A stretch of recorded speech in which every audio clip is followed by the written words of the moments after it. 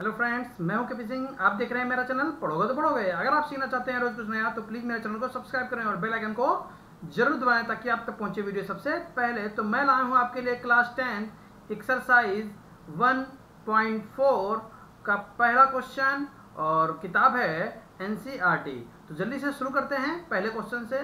तो क्या कह रहा है? बिना लंबी विभाजन प्रक्रिया किए बताइए कि निम्नलिखित परिमेय संख्याओं के दशमलव प्रसार शांत हैं या अशांत हैं? ठीक है?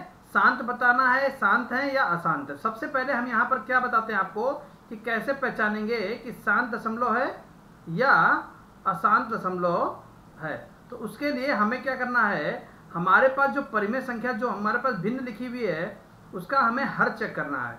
और जो हर है, वो टू की पावर एन इंटू फाइव की पावर एम के रूप का होना चाहिए। ठीक है? इसके सिवा कोई भी संख्या, पाँच और दो के सिवा और कोई भी संख्या नहीं होनी चाहिए। अगर वो शांत दशमलव है तो दो की पावर एन और फाइव की पावर एम के रूप का होना चाहिए, या केवल टू की पावर एन का रूप का हो, या केवल फाइव की पावर एम के रूप का हो। तब तो वो शांत दशमलव है। अगर इस रूप का हर नहीं है तो वो अशांत दशमलव के रूप में बदल जाएगा, उसको हम लोग आसान दशमलव बता देंगे। तो हम ये टू और फाइव लाएँगे कैसे? हम हर के, इस हर के अभाज्य गुणनखंड करेंगे। और अभाज्य गुणनखंड अभाज्य गुणनखंड के बाद हमको पता चलेगा कि ये शांत दशमलव संख्या है या अशांत दशमलव संख्या है। तो इस तरीके से हम क्वेश्चन लगाएँगे। तो जल्दी से शुरू करते हैं पहले क्वेश्चन से और फिर जब क्वेश्चन लगाएँगे तब आपको क्लियर हो जाएगा। तो देखिए क्या कह रहा है पहले क्वेश्चन में। तेरह बटे इकतीस पच्चीस। अब इकतीस पच्चीस के अभाज्य गुणनखंड आपको कर लेना है। इकतीस पच्चीस। तो देखिए पाँच से कटेगा। पाँच छंगा तीस।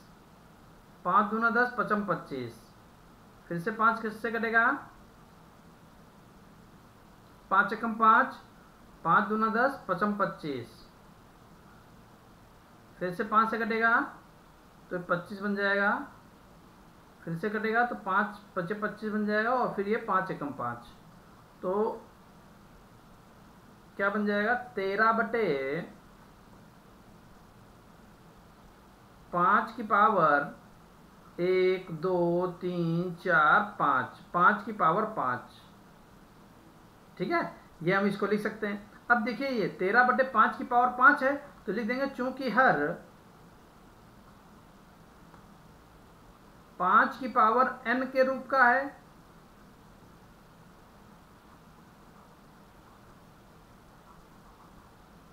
इसलिए यह शांत दशमलव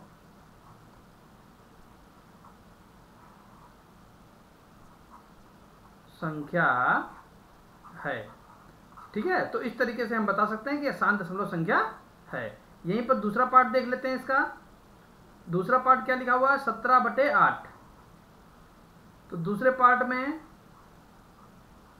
सत्रह बटे आठ, इस आठ के गुणनखंड कर लेंगे तो क्या हो जाएगा? सत्रह बटे दो की पावर तीन। और फिर यहाँ लिख देंगे,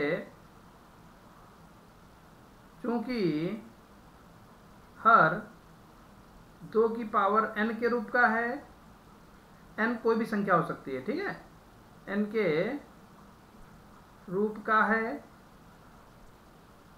इसलिए यह शांत दशमलव संख्या है। बाकी आप लिख लेंगे, ठीक है? तो इस तरीके से हम दो क्वेश्चन लगा सकते हैं। चलिए देख लेते हैं तीसरा पार्ट तीसरे पार्ट में क्या कह रहा है? चौसठ बटे चार सौ पचपन। चौसठ बटे चार सौ पचपन। तो देखिए, ये लिखा हुआ है। तो इसको हम क्या करेंगे? अभाज्य गुणनखंड कर लेंगे चार सौ पचपन के। तो चार सौ पचपन। तो पाँच से काट लेंगे। पाँच ने पैंतालीस। पाँच एकम पाँच। ठीक है? सात से कट जाएगा। तेरह और तेरह एकम तेरह तो चौसठ बटे पाँच गुणे सात गुणे तेरह तो लिख देंगे, चूँकि हर पाँच की पावर एन इंटू टू की पावर एम के रूट का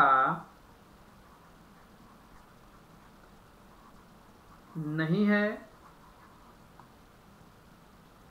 इसलिए यह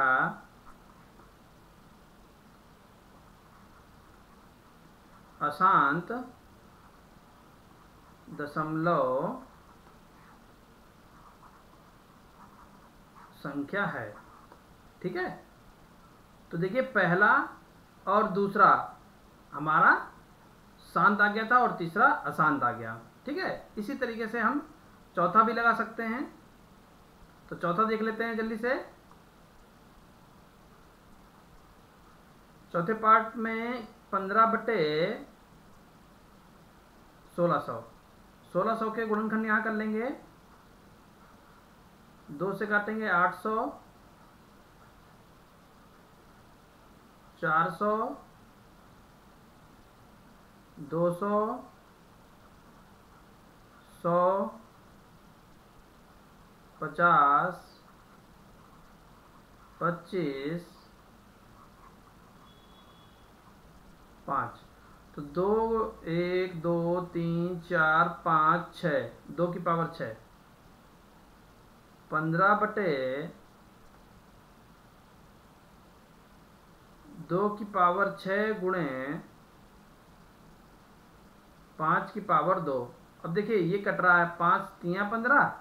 काट भी लेते हैं और ये पाँच से ये घात दो कट गई। एक पाँच बचा हमारे पास, ठीक है? तो क्या बन जाएगा? तीन बटे दो की पावर छ गुणे पाँच की पावर एक। तो लिख देंगे, चूँकि हर दो की पावर एन गुणे पाँच की पावर एम के रूप का है, इसलिए यह शांत दशमलव संख्या होगी। इस तरीके से चौथा पार्ट हम लोग लगा सकते हैं। जल्दी से पांचवा देख लेते हैं, सारे पार्ट देख लेते हैं फटाफट।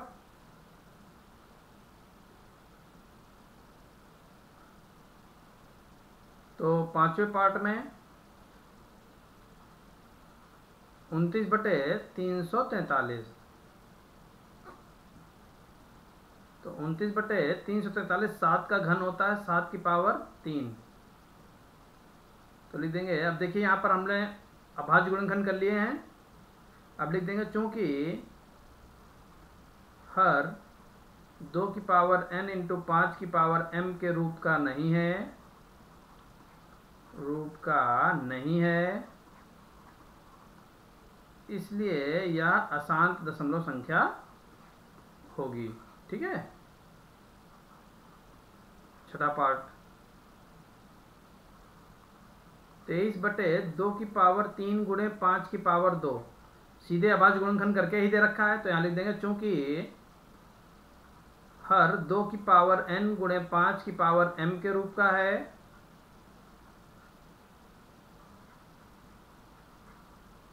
इसलिए यह शांत दशमलव संख्या है। तो छह क्वेश्चन हम लोगों ने देख लिए हैं, जल्दी से आगे भी देख लेते हैं फटाफट।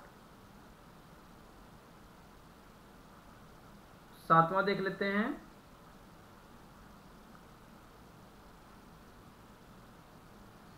दो की पावर दो गुणे पाँच की पावर सात, गुणे सात की पावर पाँच। अब देखिए, एक बात और ध्यान रखिएगा, दो की पावर दो मिल गया, पाँच की पावर सात मिल गया, लेकिन सात की पावर पाँच मिला है। एक बार ये ज़रूर चेक कर लीजिए, क्या ये काट सकते हैं हम? अगर काट सकते हैं तो काट दिया करेंगे, ठीक है ना? वरना फिर क्वेश्चन हमारा गलत हो जाएगा।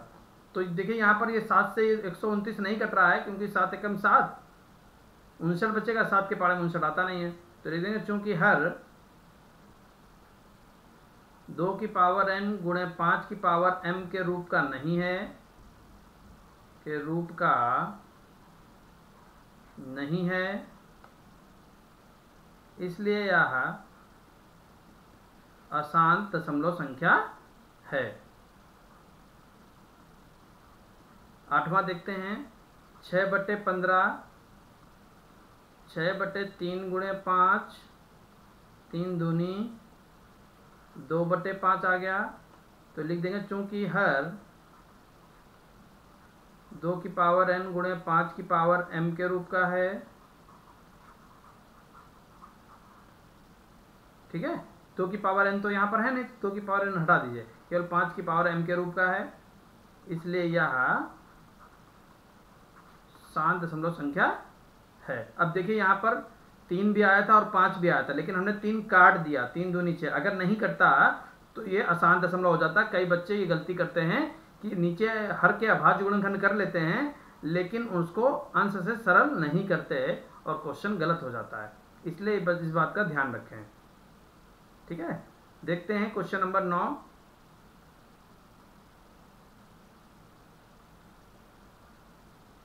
पैंतीस बटे पचास तो पचम पच्चीस दूना पचास।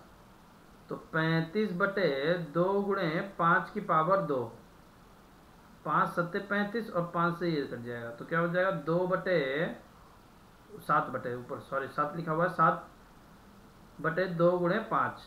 तो लिख देंगे चूँकि हर दो की पावर एन इंटू पाँच की पावर एम के रूप का है इसलिए यह शांत है। ठीक है? दसवां देख लेते हैं। सतहत्तर बटे दो सौ दस तो दो सौ दस के गुणनखंड कर लेंगे। एक सौ पाँच, तीन से कट जाएगा, तीन तिया नौ, तीन पचे पंद्रह पाँच, सत्तर, पैंतीस और सात, एकम सात। तो सतहत्तर बटे दो गुणे तीन गुणे पाँच गुणे सात। देखिए, सात से तो कट जाएगा, सात ग्यारह।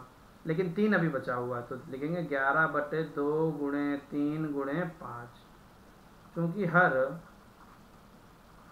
दो की पावर एन इंटू पाँच की पावर एम के रूप का नहीं है। इसलिए यह अशांत दशमलव संख्या होगी। तो इस तरीके से हम पहले क्वेश्चन को लगा सकते हैं। उम्मीद है कि आपको बहुत अच्छी तरीके से समझ में आया होगा। जल्दी से चल देते हैं। दूसरे क्वेश्चन पर।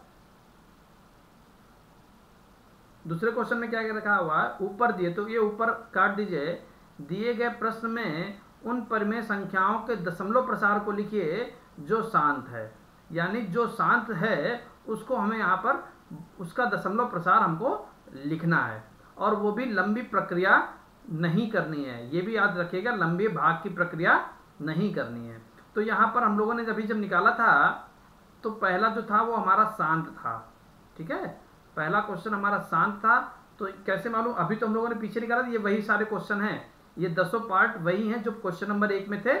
यहाँ पर हमने उसको नीचे लिख लिया है। ठीक है? तो पहले क्वेश्चन का आंसर हमारा शांत आया था और अगर शांत आया है तो कह रहा है दशमलव प्रसार को लिखिए जो शांत है और बिना भाग की लंबी प्रक्रिया करे बगैर। तो देखिए कैसे करेंगे? पहला पार्ट तेरह बटे और इकतीस पच्चीस लिखा हुआ है, इसके गुणनखंड कर लेंगे। तो तेरह बटे इकतीस पच्चीस के गुणनखंड कर लेंगे तो पचम पच्चीस, पंचे एक सौ पच्चीस, पंचे छः सौ पच्चीस और पंचे इकतीस पच्चीस। तो पाँच की पावर पाँच लिखा हुआ है ये। ठीक है। अब हमें क्या करना है? देखिए, नीचे ज़ीरो बनाने के लिए, सभी संख्या ज़ीरो बनाने के लिए, दस की घात लगाने के लिए हमारे पास यहाँ दो की पावर पाँच होना चाहिए। तभी दो पंचे दस बन जाएगा। तो जब दो की पावर पाँच हम नीचे ले आए तो ऊपर भी हमने गुणा कर दी। जितना जिससे गुणा करा, उसी से भाग कर दिया। तो तेरह गुणे दो की पावर पाँच का मान कितना होता है? बत्तीस बटे दस की पावर पाँच।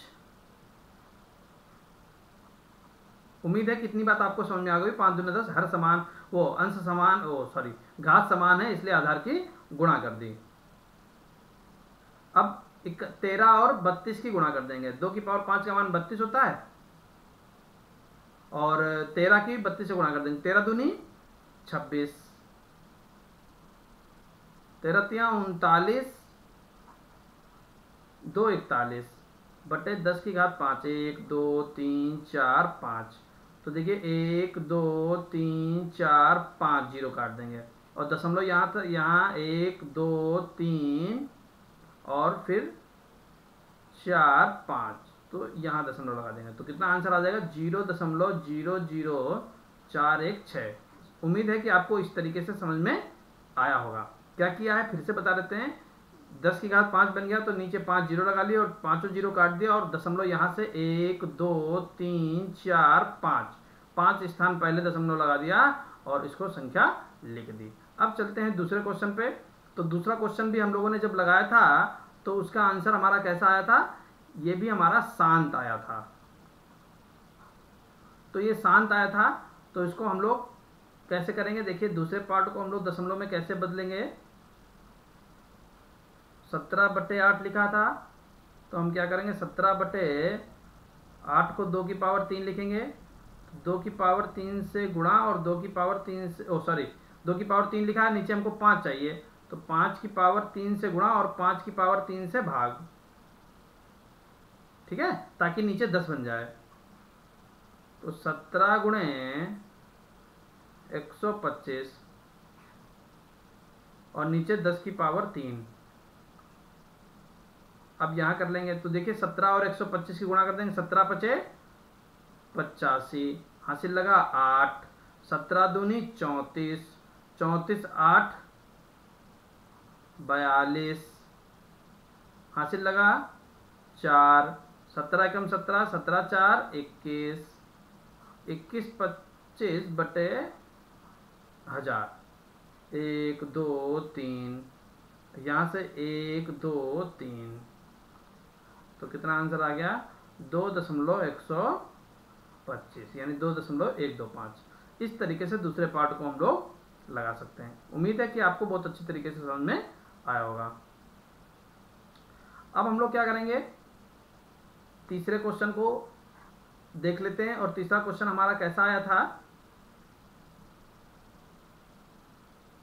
आई थिंक 455 के गुणनखंड कर लेते हैं एक बार। तो पाँच ने पैंतालीस हाँ अभाज्य गुणनखंड आए थे। तो इसको तो ये तो हमारा अशांत आया था। ये अशांत आया था तो इसके हमें दशमलव प्रसार नहीं लिखना है। ठीक? ये हमारा कैसा आया था? इसको भी चेक कर लेते हैं। शायद शांत ही आया था। तो गुणनखंड करना ज़रूरी है। तो ये 800 400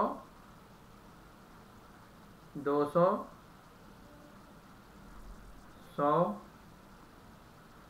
पचास, पच्चीस तो एक, दो, तीन, चार, पाँच, छ, दो की पावर छ और पाँच की पावर दो। तो देखिए पंद्रह बटे दो की पावर छ गुड़े पाँच की पावर दो, ठीक है? इसको हमने ऐसे बदल लिया। अब देखिए, दो की पावर छः है और पाँच की पावर दो है। तो हमारे पास दस बनने के लिए पाँच की पावर चार की कमी है। कितने की कमी है? पाँच की पावर चार की। तो पाँच की पावर चार से गुणा कर दिया और उतने से ही हमने पाँच की पावर चार से भाग कर दिया। तो ऊपर क्या बन जाएगा? पंद्रह गुणे पचम पच्चीस, पंचे एक सौ पच्चीस, पंचे छः सौ पच्चीस। पाँच की पावर चार का मान छः सौ पच्चीस। बटे, नीचे दो की पावर छः और पाँच की पावर भी छः बन चुकी है। तो टोटल दस की पावर छः बन जाएगा। पंद्रह की गुणा कर देंगे। पंद्रह पंद्रह पचे पचहत्तर। हासिल लगा सात। पंद्रह दूनी तीस, सात सैंतीस हासिल लगा तीन। पंद्रह छक्का नब्बे नब्बे तीन तिरानवे तिरानवे पचहत्तर, बटे दस की पावर छः दो, तीन, चार, पाँच छ अब यहाँ आगे लगा लेंगे। तो देखिए, यहाँ काट लेंगे इसको। एक, दो, तीन, चार, पाँच छः दशमलव काटा। तो यहाँ से भगाएँगे। एक, दो, तीन, चार, पाँच छः छः स्थान पर दशमलव लगा दिया। तो आंसर आ गया ज़ीरो दशमलव ज़ीरो ज़ीरो, नौ, तीन, सात, पाँच। इस तरीके से क्वेश्चन नंबर चार को हम लोग लगा सकते हैं। ठीक है? तो इस तरीके से हम बहुत सारे क्वेश्चन लगा सकते हैं। ये पांचवा तो अशांत हमारा आया था। तो इसको लगाना नहीं है। ये हमारा शांत दशमलव आया था तो ये आप अपने आप कर सकते हैं। यहाँ पर पाँच की पावर, यहाँ दो की पावर तीन नीचे लिखा हुआ है, पाँच की पावर दो लिखा हुआ है। तो पाँच की पावर एक से गुणा कर देंगे और पाँच की पावर एक से ही भाग कर देंगे। तो दो की पावर तीन और पाँच की पावर तीन, यानी दस की पावर तीन बन जाएगा, ऊपर गुणा कर देंगे, दशमलव लगा लेंगे। यहाँ पर ये तो अशांत है, इसको लगाना ही नहीं है। ठीक है आप समझा रहे हैं, आप आपको समझ में आ गया, इसलिए आप लगा ले जाएँगे। और अगर किसी प्रकार की दिक्कत है तो कमेंट में लिख दें मैं बता दूँगा आपको। ये बिल्कुल आसान है, ये यहाँ पर पहले सरल कर लेना। तीन दूनी छः और तीन पचे पंद्रह। अब नीचे पाँच बन गया, लेकिन दो की कमी तो दो से गुणा, दो से भाग। नीचे दस बन गया, दो दूनी चार बटे दस बन जाएगा। काट लेंगे तो ज़ीरो दशमलव चार हमारा आंसर आ जाएगा। ऐसे यहाँ पर भी कर लेंगे। पचास के गुणनखंड कर लेंगे, जिसकी कमी होगी उससे गुणनखंड और उससे गुणा भाग कर देंगे। ये हमारा अशांत दशमलव है, इसलिए इसको हम छोड़ देंगे। ये हमारा शांत है। शांत है तो इसको हम कर लेंगे। तो क्वेश्चन नंबर दो के सारे पार्ट हम लोगों ने लगा लिए हैं और उम्मीद है कि आपको समझ में आ गया। काफ़ी इंपॉर्टेंट पार्ट है। ऐसा पेपर में क्वेश्चन आता है। चल देते हैं क्वेश्चन नंबर तीन पर। कुछ वास्तविक संख्याओं के दशमलव प्रसार नीचे दर्शाए गए हैं। प्रत्येक स्थिति के लिए निर्धारित कीजिए कि यह संख्या परमेय संख्या है या नहीं। यदि यह परमेय संख्या है और पी बटे क्यू के रूप की है तो क्यू के अभाज्य गुणनखंड के बारे में आप क्या कह सकते हैं? तो देखिए, यह शांत दशमलव है पहला पार्ट तो लिखेंगे तैतालीस दशमलव एक, दो, तीन, चार, पाँच छ सात, आठ, नौ। ये संख्या लिखी हुई है। तो लिखेंगे चूँकि यह एक शांत दशमलव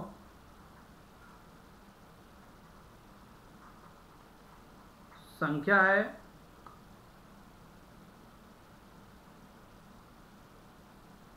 इसलिए यह परिमेय संख्या है। परिमेय संख्या है। तथा इसे P बटे Q के रूप में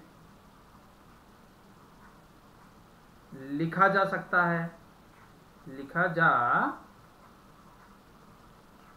सकता है। ठीक है? जहाँ Q नीचे वाला हर जो है, नीचे जो Q है, Q दो की पावर एन गुणे पाँच की पावर एम के रूप का होगा। समझ गए?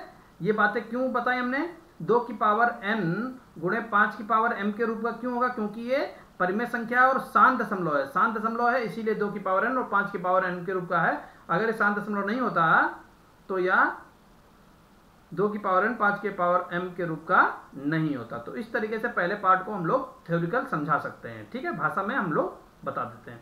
ऐसे ही तीनों पार्ट हमको बताने हैं।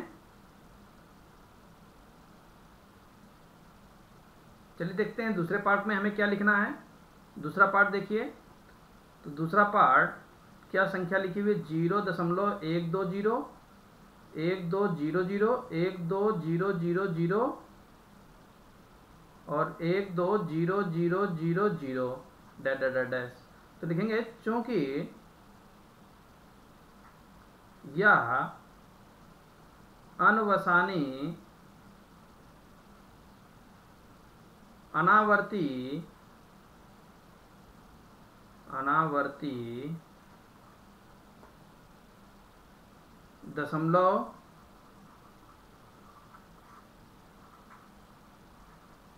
संख्या है। इसलिए यह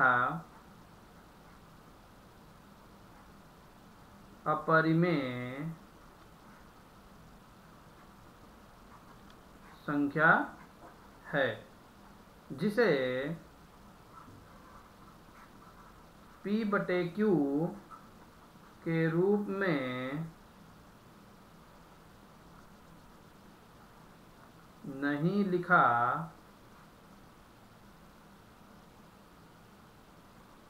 जा सकता है। ठीक है?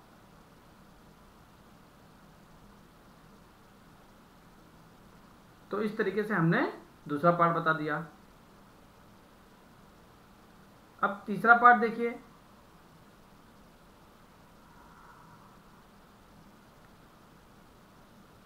अब तीसरे पार्ट में क्या कह रहा है, इसको थोड़ा सा साफ़ कर देते हैं।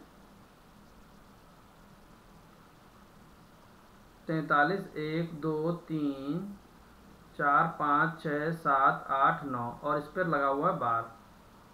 ठीक है? तो लिखेंगे, चूँकि यह